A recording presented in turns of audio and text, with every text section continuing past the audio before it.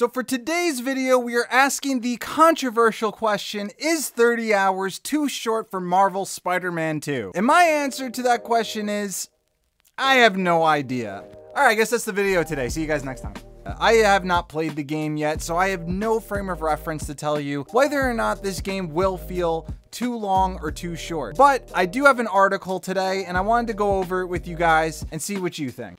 So the article I have today is from Dexerto, and the article says fans defend Marvel Spider-Man 2 from those who say 30 hours is too short. With Marvel Spider-Man 2 releasing this month, fans are debating whether the game's supposed 30-hour length is enough for the web-slinger's next adventure. This game is set to expand Insomniac's series of web-slinging open-world action titles with its darker story, new villains, the option to switch between Peter Parker and Miles Morales, and much more. Much more, you say? Do you mean we could play as Venom?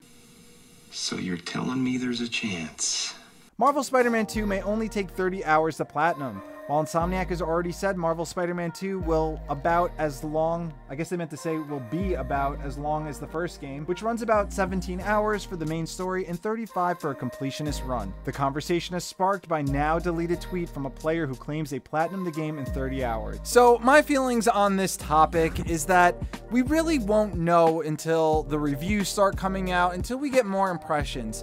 I find that, you know, one person's opinion isn't really enough for me to have have really enough information to truly know the kind of experience we'll be getting. But I will say, if the first game is any indication, which as we all know, there have been times that a sequel is not as good as the first game. I mean, the main story was super robust in that game. The side chains were actually very well thought through. That game had the most I've ever seen to do in a Spider-Man game and the most thought out stuff to do. It felt like they actually put a lot of effort into whatever strings you did even outside of the main story. So as of now, Insomniac hasn't really done anything to erode that trust that I have in them, but anything is possible. I'm not going to sit here and say because I'm a Spider-Man fan and I am absolutely hyped for this game that I know for a fact that this game will feel long enough or too short or whatever. It also depends on your gaming habits. Everyone's different. Are you the kind of person that will set aside your whole schedule? You'll play this game day in and day out. Things come easy to you. Or are you someone who will be playing this maybe an hour or two a day or maybe a couple hours a week or a couple hours a month? That will play a massive role in if you feel satisfied with the length of the game. And as far as what we've gotten before, Insomniac has 100%